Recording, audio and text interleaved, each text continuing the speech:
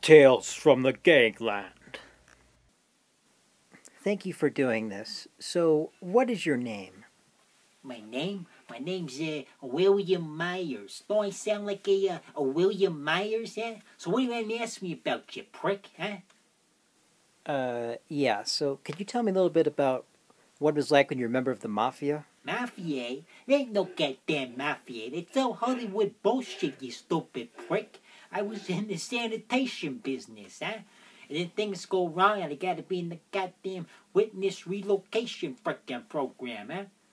Well, tell us about your work in sanitation then.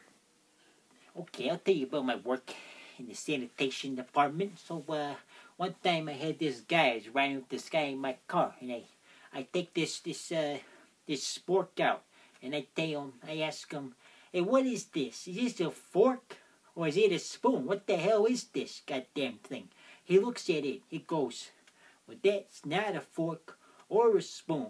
And also, it's both though, 'cause that right there, that's a spork. And I say, Are you sure about that? Look real close. He, he looks real close, and I go, reh, reh, right in his freaking eyeball. And I say, What is that now? And you see real close? Is that a fork, or is it a spoon, or is it a goddamn spork, you stupid prick? You dead, you goddamn prick.